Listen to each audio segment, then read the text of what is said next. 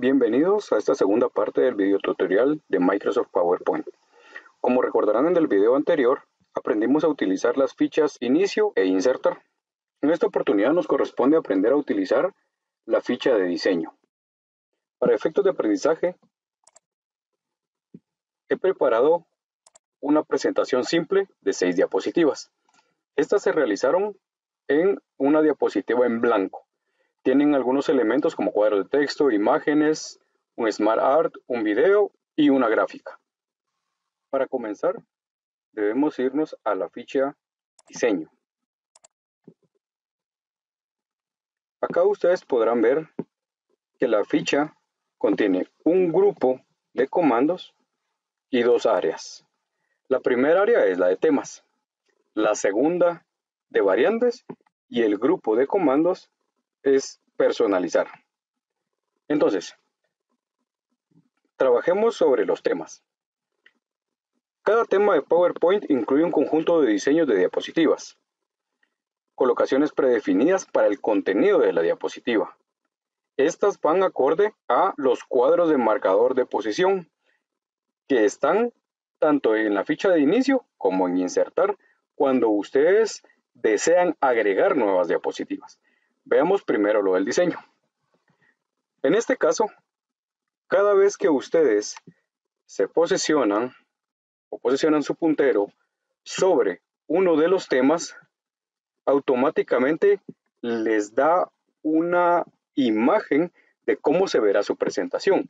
Es decir, tiene una muestra sin que se aplique a la diapositiva como lo observan en este caso. Si se desplazan hacia abajo con la flecha de desplazamiento, pueden ver más diseños. Ahora bien, si despliegan el área, pueden visualizar todos los diseños que Microsoft PowerPoint tiene a la disposición para que ustedes puedan aplicarlos a su presentación. Démosle uno rápidamente, elijamos cualquiera. En este caso, se aplica y cambian todas las diapositivas. Sin embargo, si vemos la segunda, como la tercera, incluyendo la que tiene el Smart Art, se dan cuenta de que no todos los diseños se aplican. Entonces es muy importante de que ustedes aprendan las reglas básicas de las presentaciones de PowerPoint. Una de ellas indica de que el fondo oscuro sirve cuando se tiene letra clara y viceversa. Cuando se tiene letra oscura, el fondo debe ser claro. De la misma manera existe una segunda regla que dice que lo ideal es tener seis letras por seis filas. Eso quiere decir de que, en resumidas cuentas, no tienen que saturar del texto la diapositiva. Y la razón es porque cuando se tiene un público muy grande o el área es muy abierta, lo que sucede es de que pierde la legibilidad la letra. Por tal motivo, debemos elegir bien nuestro diseño. Y esto va a depender de otra de las reglas de PowerPoint, que es el diseño, el color y el texto deben ir acorde al público objetivo de nuestra presentación.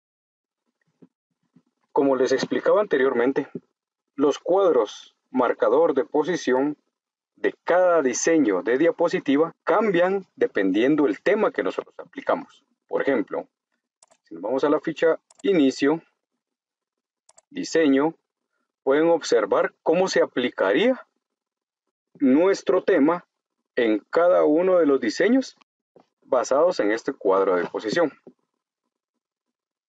Si nosotros cambiamos nuestro tema, de la misma manera cambiarán. Y es porque los temas se acoplan a cada diseño de diapositiva que tengamos y no en todos se establece de la misma manera. como podríamos ver en este caso.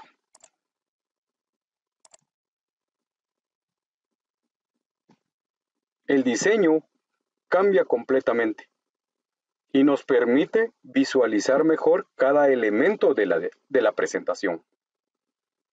De la misma manera, si ninguno de los diseños que están acá nos convence o nos parece, tenemos la opción de buscar una plantilla en Internet. Para ello, podemos utilizar buscar temas, pero en este momento no tenemos ninguno. Entonces lo que debemos hacer es ir a un navegador, buscar, vamos a utilizar Google como buscador y colocar plantillas de PowerPoint.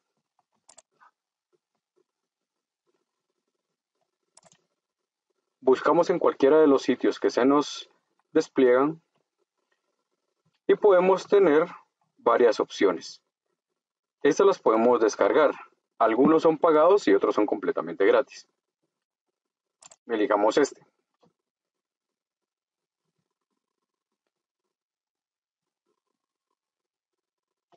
Tenemos la opción de irnos a una vista previa. Y si el diseño nos convence, lo podemos descargar.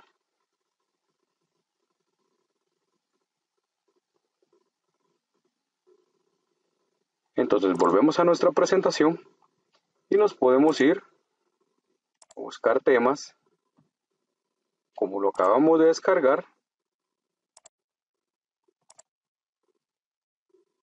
Y simplemente le damos aplicar. Como ustedes pueden ver no todos los diseños se aplican uniformemente y esto es dependiendo del tipo de diapositiva que tengamos definido. Entonces, tenemos lo que tenemos que hacer es cambiar el diseño una por una. Nos vamos a la ficha de inicio, damos clic en el comando diseño y elegimos el de título. Automáticamente todos nuestros cuadros, imágenes, se nos van a mover. Lo que tenemos que hacer es aplicar los conocimientos previos y ajustar cada uno. Y hagamos un, un ejemplo de esto. Reducimos el tamaño de nuestro texto.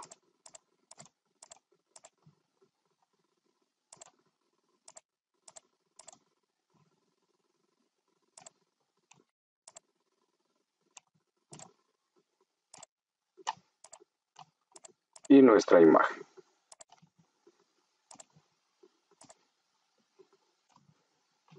De la misma manera, podemos cambiar el diseño de la segunda diapositiva.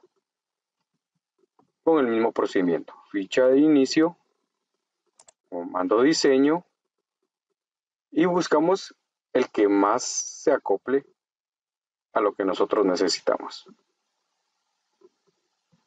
Elijamos este. Y utilizamos el mismo procedimiento de conocimientos previos. Podemos reducir un poco el texto, ajustamos los cuadros de posicionamiento y cambiamos el formato de la imagen.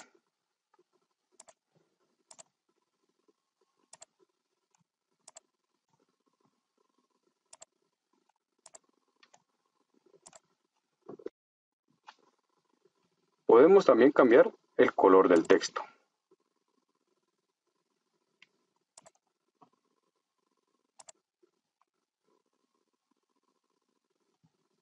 Y utilizamos una de las opciones disponibles.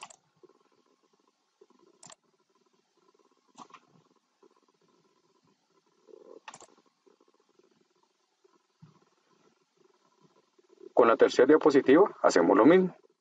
Simplemente que acá utilizamos un fondo oscuro.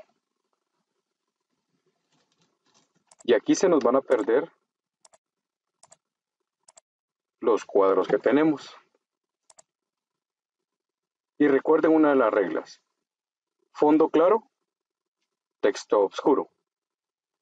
O viceversa. Texto claro, fondo oscuro. Y aplicamos un fondo claro a la forma. Definitivamente tenemos que ajustar todos nuestros cuadros de texto o todas nuestras formas, porque automáticamente al aplicar una plantilla, por definición la plantilla trae cuadros ya preestablecidos, que no son los mismos que nosotros hemos aplicado con un tema anterior. Entonces, es necesario que los vayamos ajustando y modificando.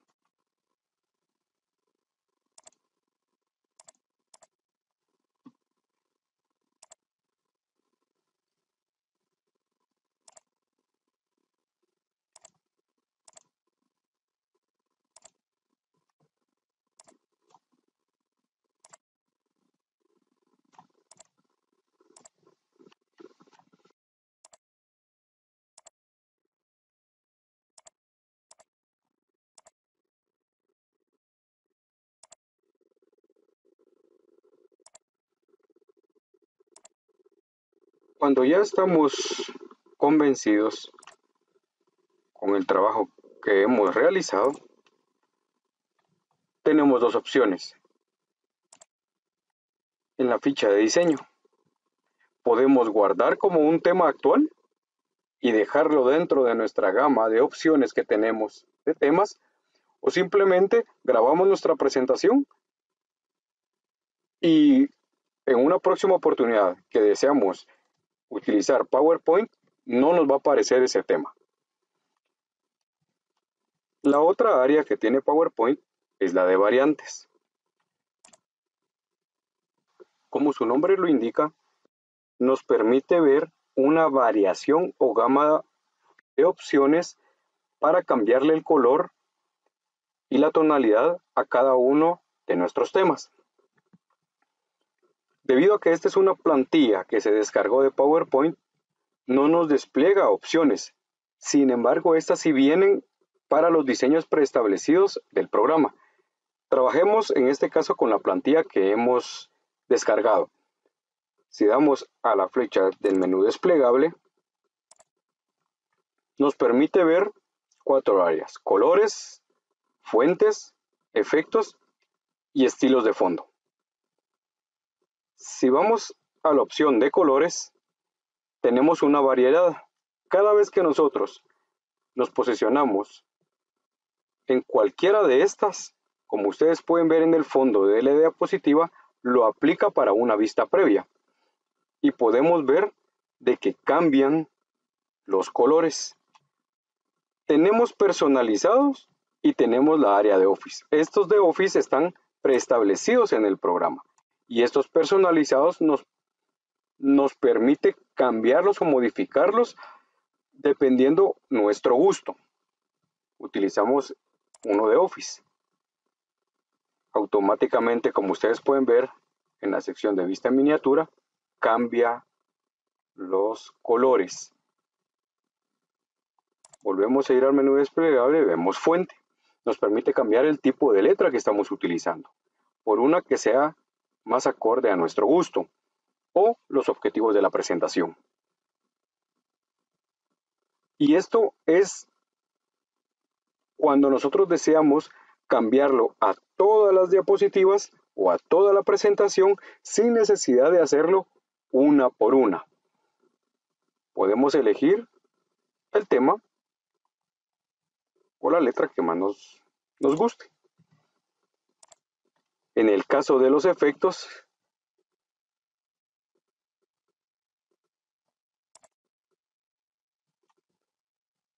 también se aplica únicamente que aquí modifica todos los gráficos, las imágenes y el Smart Art que tengamos. Y por último, el estilo de fondo. El estilo de fondo nos permite tener una variedad de tonalidades, dos áreas oscuras y dos áreas claras, como, como lo pueden ver acá. Si aplicamos una, todas las partes oscuras cambian. Nosotros podemos seleccionar la que deseamos modificar.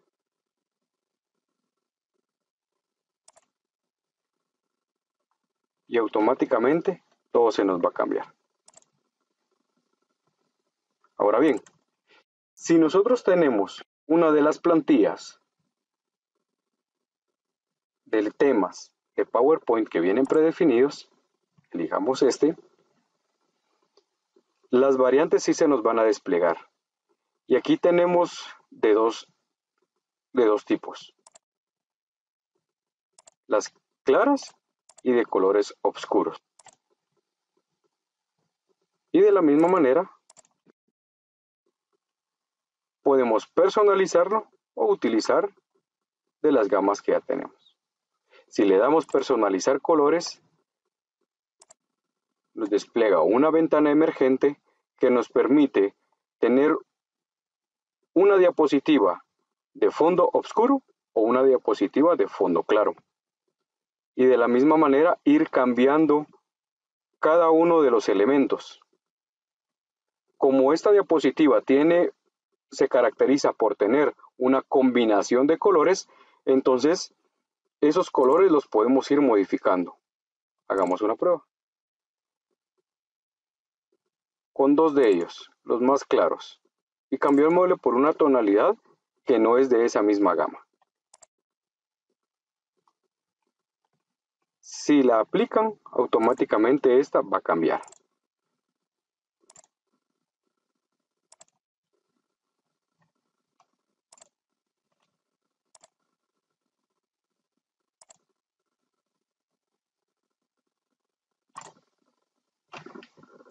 Como lo pueden ver acá.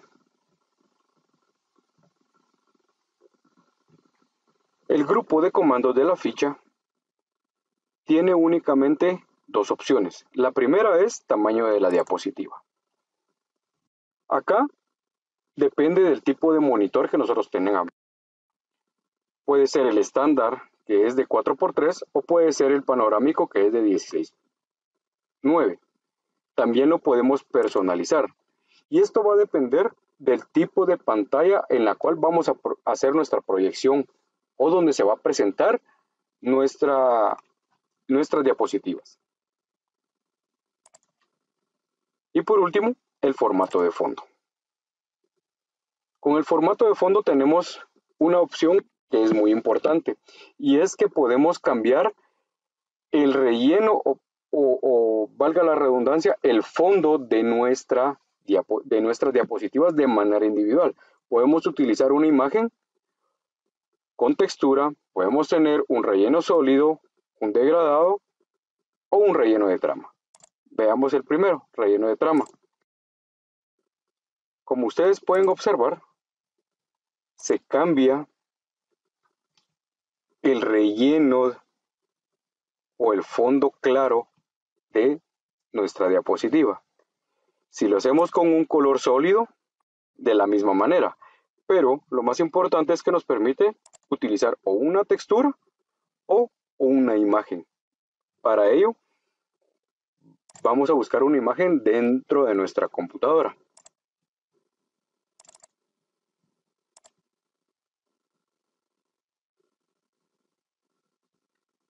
Para este video tutorial he descargado una que nos permite observar claramente. Entonces, cada vez que hacemos un cambio, bien sea en tema, variantes o fondos de nuestra presentación, vamos a tener que modificar cada uno de los elementos porque se van a acoplar al diseño que nosotros estamos manejando.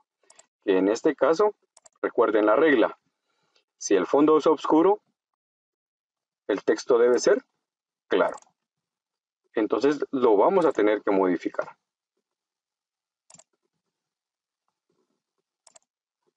Aquí quiero darles o enseñar o mostrarles algo que muy pocos conocen o lo han utilizado. Muy pocos saben de que se le puede cambiar o se le puede modificar el fondo a una imagen cuando es un color plano. En este caso podemos colocarlo completamente transparente y solamente dejar el logo o el icono específico que tiene color.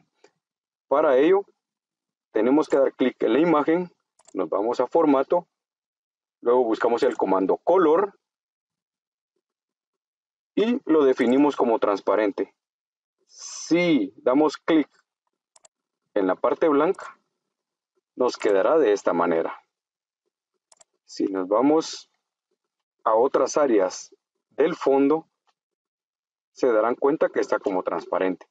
De la misma manera, muchas veces no encontramos el color adecuado para colocarle a nuestro texto o cuando buscamos dentro de los colores que están definidos, no tenemos uno que se parezca al que estamos utilizando de fondo de nuestra diapositiva. Para esto, para cambiarlo, podemos utilizar el cuentagotas. El cuentagotas nos permite ubicar el color y aplicarlo a nuestro texto, como en este caso.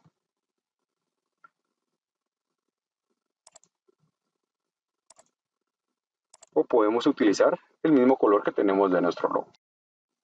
Y automáticamente lo va a cambiar. En el caso del formato de fondo, tenemos que cambiar diapositiva por diapositiva. Si a la segunda deseamos utilizar otro tipo de imagen, también lo podemos hacer. ¿Cómo sería en este caso? Y tenemos dos imágenes aplicadas a nuestro tema como fondo.